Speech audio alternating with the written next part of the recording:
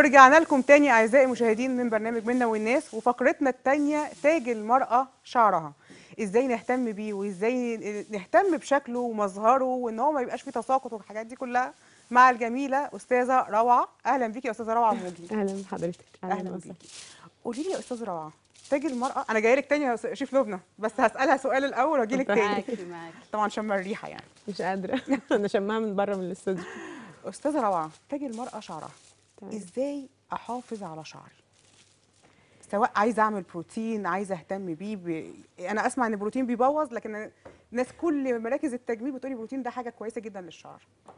هو على طول كل كل البرامج بيروحوا مداخلين في موضوع البروتين على طول. لأن هو ده الموضة دلوقتي بتاعت آه، الشعر. آه، تمام، بتاعنا بتاع. الستات بالذات كمان. آه بالظبط. هي كل واحدة عايزة يبقى شكلها جميل آه، وشعرها ناعم من غير ما تفضل تعمل بيبيليس أو تعمل سشوار فبتلجأ بقى للكرياتين بروتين آه، آه، الأساليب القديمة اللي هي كانت الحنة الفرد وال وال اسمه إيه الجلات والحاجات دي. بس دي غلط ف- الحنة والجلاد دي غلط. دي حاجات دي بتدمر الشعر تدمير شامل. مم. يعني ما بيبقاش في شعر بعد كده في الحاجة اللي بتتعمل دي. فإحنا حتى لما بنيجي نعمل بروتين لازم نسأل العميله انت عاملة فرد أو عاملة أو عاملة جلات أو عاملة أي حاجات من الحاجات القديمة دي أو حنة. الحنة دي أول ما بتجيبي عليها البروتين فش- تفصل الشعر من بعضه على طول. الحنة؟ آه الحنة السوداء اللي هي بي كانوا بيفردوا بيها. ما أعرفش في ناس على فكرة لسه شغالين بيها لحد دلوقتي. فدي بت بتفك الشعر من بعضه خالص بت بتبوظ كل الروابط اللي فيه. طيب. بت دمار طب قولي لي بتنصحي أي بنوتة كده جاية تتجوز؟ أي واحدة هتتجوز خلاص دلوقتي؟ تبقى عايزه طبعا شعرها يبقى شكله حلو لأن طبعا بتاخد شاور كتير والحاجات دي كلها فبيأثر على شعرها. فعايزه شعرها يبقى شكله حلو. أكيد هنقول لها طبعا تعمل تشوف شعرها الأول يعني لازم نشوف شعرها لازم أشوف شعرها محتاج إيه يعني. أشوف ال- الشعراية نفسها محتاجة إيه في شعر ما بيبقاش محتاج بروتين بتبقى ال- بتبقى الروابط بتاعته قوية وهو ما شاء الله حلو وناعم. بس هم بيقولوا بروتين عشان خاطر كأنه معمول ببليس على طول. في شعر ما كل ما الشعراية تبقى ناعمة ما تستحملش البروتين بس معظم اللي بيعملوا بروتين بيبقى شعرهم خشن شوية. آه بتبقى التجاعيد فيه كتير جدا. مم. فلازم يعملوا طبعا حاجة تخليه جميل كده وصحي. فأضمن حاجة معانا فيديوهات دلوقتي قدامنا. تمام.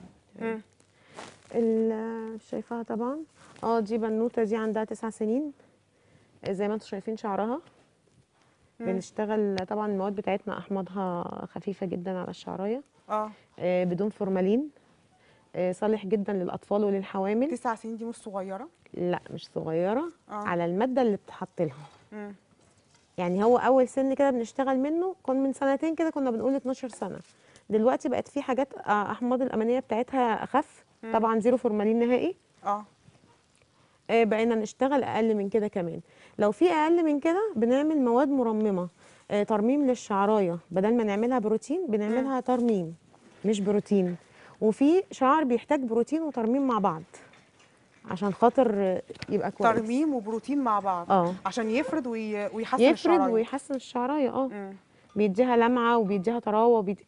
حاجة كده حاجات كده بقت وهم دلوقتي والله. أكيد كل البنات دلوقتي كله بيعمل كده كله بيعمل بروتين وكرياتين طبعا الكرياتين دلوقتي يعني خف شوية عشان آه بيعتمد دايما على الفورمالين فطبعا دلوقتي معظم الناس ما بتشتغلش بالفورمالين. عشان مادة سامة. بس هقول لك على حاجة أمهات كتير قوي اللي بيعانوا من مشكلة في شعر بناتهم اللي هو بيبقى شعر خشن شوية أو فيه تجاعيد كتير بيستسهلوا للبروتين أو الكرياتين آه تبقى فترة الدراسة بتاعتهم شعرهم شكله كويس. في شعور ما بتبقاش محتاجة. وفي شعور محتاجة بتبقى وفي شعور نفسها. محتاجة آه. آه. فاهم حاجة يتعمل صح. طب الشعر اللي قدامنا ده إيه؟ يتعمل بمادة صح. دي برضو طفلة أنا الصور بتاعتي كلها أطفال عشان عشان العامة يعني. آه. فدي برضو طفلة. تمام. إيه هتشوفيها دلوقتي بعد. ما شاء الله. ده بروتين بس برضو مش مش بروتين وترميم. بس ده فيه فرد. آه آه البروتين فيه أحماض أمينية بتفرد. طب لما يروح من الشعراية الشعراية ما بتبقاش بايظة؟ لا هو بصي بقى موضوع إن هو يروح من الشعراية ده مهم جدا. في ناس كتير بتسأل السؤال ده لما تيجي تعمل أنت هتعملي لي بروتين طب هيخلص إمتى؟ يعني إيه هيخلص إمتى؟ هو ما بيخلص. لا قصدها هيفضل شعري كده إمتى؟ لحد إمتى؟ بصي طول ما هي بتحافظ على شعرها اللي معمول الشعر دوت آه، طبعا بيضعف شوية. لازم هي تحافظ عليه بطريقة صحية جدا. اولا ما بتشتغلش عليه بحاجة فيها صوديوم ولا سلفات ولا الحاجات دي. حاجات معينة لغسيل الشعر بعد البروتين. مم. بس كده. آه آه، حاجات بدون سلفات ولا صوديوم. يعني مجموعة عناية تكون نظيفة. هتحافظ على شعرها. بالنسبة بقى للجذور اللي بتطلع اللي هو شعرها الطبيعي. ما هو الشعر بيطلع بيطول. ما بيبوظش أكتر. يعني البروتين لما يروح مش بيبوظ الشعرايه نفسها أكتر لا زي ما الناس فاكرة. لا هي العميلة بقى بتقارن شعرها بالشعر اللي بقى فيها. فبتقول لك إيه ده؟ ده أنا شعري الجذور طالعة وحشة جدا. هي نسيت أصلا شكل شعرها الأول طبعاً. عامل إزاي آه فاهمة. لا أنا بقى بقول لهم أنتوا عندكم سيديهاتكم القديمة كلها عندي. فمفيش حد بيعمل معايا كده. طب هنبص على فيديو سريعا كده الأول. وهرجع لك يا شيف لبنى بس بعد الفيديو ده. تمام.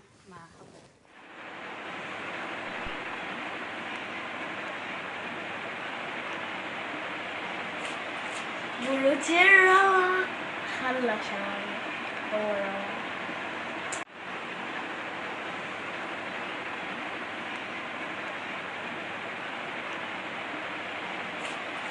بروتين روعة خلى شعري هو روعة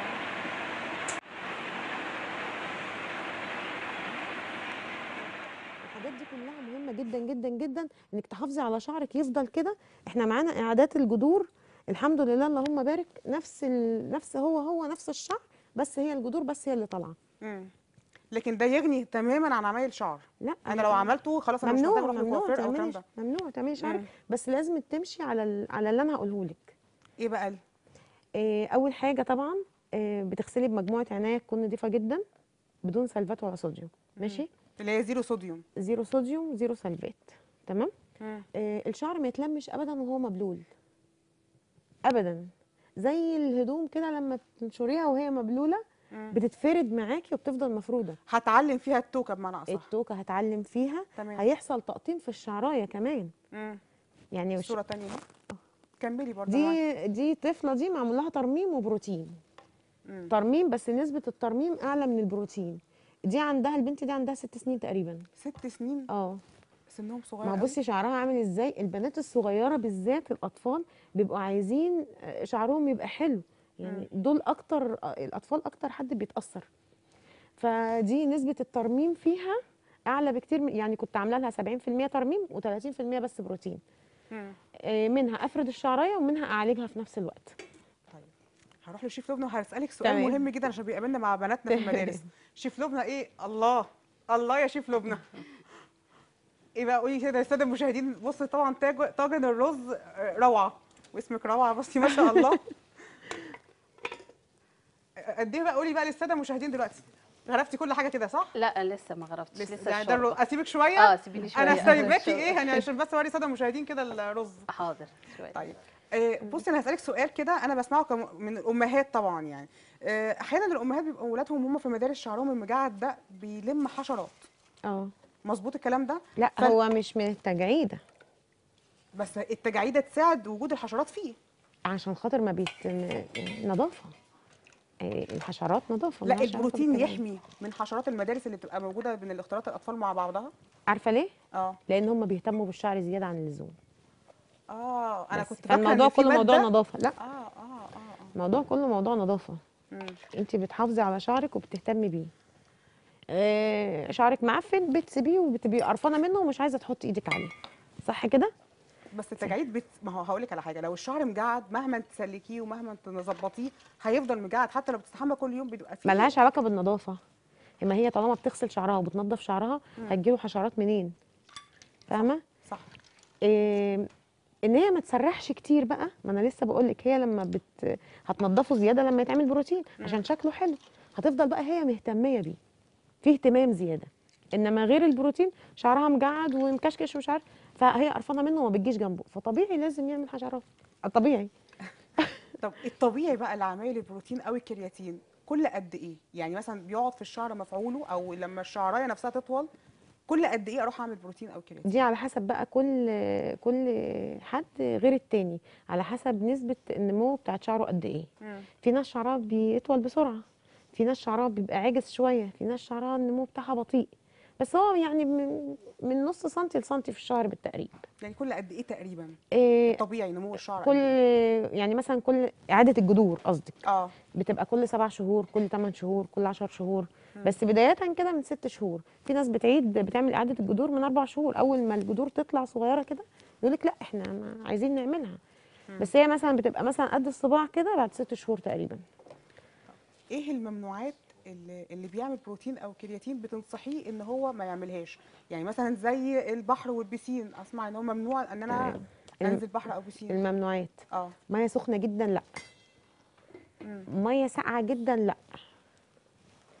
آه بسين لأ بحر لأ عرق لأ. الع- العرق ده ضد إزاي بقى؟ العرق ده هنتحكم فيه إزاي؟ لا ما في ناس بتسيب نفسها. الع- العرق انت قصدك ان تعرق وخلاص عرقت ونشفت آه. خلاص كده؟ آه. ما بقى آه، عادي. لا ما هي لما تعرق هيبقى في أملاح. وخلاص العرق راح. بس. في أملاح اتراكمت فين؟ في الجذور. الجذور دي كلها الأملاح دي تفكها. الأملاح بتفك البروتين. بتخلي البروتين ينزل. طب نعمل أصل برضو الصيف انت عارفة الصيف عندنا والتلزيق والرطوبة عالية جدا فطبيعي البني آدم بيعرق يعني لحد ما بيعرق. تمام ما هي لما تعرق آه ما تسيبش نفسها مثلا تبات وهي عرقانة. تمام. لازم تشطف شعرها بمية بس آه، أو أي مرطبات ويستحسن يكون في مرطبات. بلسم آه، حمام كريم كويس حاجات ترطب الشعر لازم الشعر يترطب كويس جدا طول فترة البروتين وغير البروتين على فكرة بس الاهتمام الزيادة شوية إن إحنا بنبقى عاملين عملية جراحية في الشعر ولازم بعد العملية إحنا بنراعي المريض زيادة. فهو بتبقى كده لازم اهتمام زيادة شوية. طيب أروح بقى شفنا لبنى دلوقتي عامله لنا تمام. إيه؟ إيه شوف لبنى. خلصنا. شفتي أسرع من كده؟ طبعا الكاميرا دلوقتي هتيجي طبعا. على الأكل دلوقتي. بسم الله ما شاء الله بجد الله أكبر. انت كفاية ريحة الأكل اللي أنا شماه دلوقتي بجد والله بدون أي مجاملة.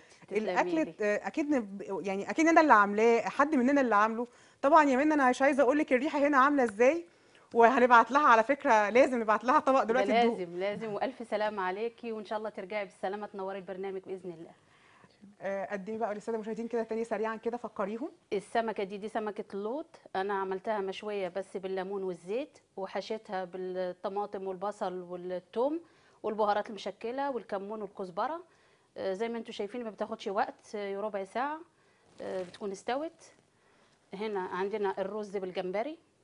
آه، بناخد أعد ال- سريعا كده آه نشوح البصلة ونحط معاها الثوم ونحط البهارات بتاعتنا وننزل الجمبري اللي إحنا أهم حاجة يبقى متنضف خصوصا قلت لكم من ال- ال- الشريط الرملي ده اللي بيبقى ورا.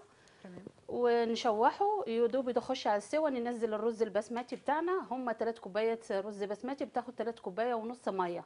ما تزودش عن كده عشان يبقى مفلفل. زي ما أنتم شايفين كده. وشوربة ال seafood برده بناخد بصلاية نشوحها وننزل ب- في فصين توم وننزل ببهاراتنا وننزل بال seafood المشكل عندنا. حلة تانية ونزود المية. حلة تانية نحط فيها معلقتين من الزبدة ومعلقتين من ال- ال- الدقيق. نعملهم كأن بنعمل بشاميل بتاع أي مكرونات. نضيفوا عليه الكريمة ونضيفه للشوربة والبهارات بتاعتنا ون ونقدمه كده بالهنا والشفا. اللي ما بيحبش الألبان آه، زي ما قلت لك بدل الكريمة تبقى طماطم. تسلم إيدك. اولا الريحة بقول لك بسم الله ما شاء الله. ربنا يخليك يا حبيبتي إحنا يخليك. للأسف حلقتنا انتهت وانتهت بسرعة جدا. مش عارفة والله عايزة أعمل عروض بس لل- سريعة جدا. للناس بسرعة. آه آه، أستاذة بس روعة الأول هتعرض هتقول لكم العروض اللي عندها في ال beauty ال c- center آه، قولها لهم بسرعة يا أستاذة آه، روعة. اولا آه، طبعا هو العرض المعروف إن أنا كل حلقة بقوله آه، إن أي عروسة يتيمة بتخرج مجانا من السنتر خالص آه، بدون أي مصاريف. آه، لو أي حد عايز يعمل بروتين بعد الحلقة عندي عشر عروض ماشي؟ آه، أول عرض أول واحدة متصلة بعد البرنامج هتبقى مجاني مجاني خالص. آه، بعد كده آه، هدية للعشر متصل للمتصلات اللي هيتصلوا يا سشوار هدية يا مجموعة ال after care كلها هدية على البروتين. آه، ده أكيد. ده. أكيد. آه لا هم لو حد هم عارفين عارف- حضرتك على فكرة. هم. عارفينك. مش أول آه، مره. ضيفتنا على فكرة. ففي ناس كتير آه، خدت العروض اللي أنا كنت بعملها دي. أستاذة روعة نورتينا النهارده وشرفتينا. ربنا الحلقة كانت. سريعة مع بس هتتكرر تاني إن شاء الله. إن شاء الله شيف باذن الله. لبنى مش عارفة أقول لك إيه بجد على الأكل تسلم أنا إيدك. اللي مبسوطة إن أنا شفت حضرتك وتعاملت معاكي وإن شاء الله ما تكونش أول مرة. لنا لقاءات تانية ونشوفوا الأكل المغربي بإذن الله وإن شاء الله على خير بإذن الله. أعزائي المشاهدين بكده تكون انتهت حلقتنا النهارده. طبعا ما كانش فيها تفسير أحلام بس أي حد عنده أحلام وعايز يبعتها على الصفحة الشخصية بتاعتي أو على صفحة أستاذة منى ابعتوها واستاذه منى هترد عليكم شخصيا وهتفسر كل أحلامكم. انتظرونا يوم الثلاثاء الجاي إن شاء الله على نفس الموعد ومنا والناس.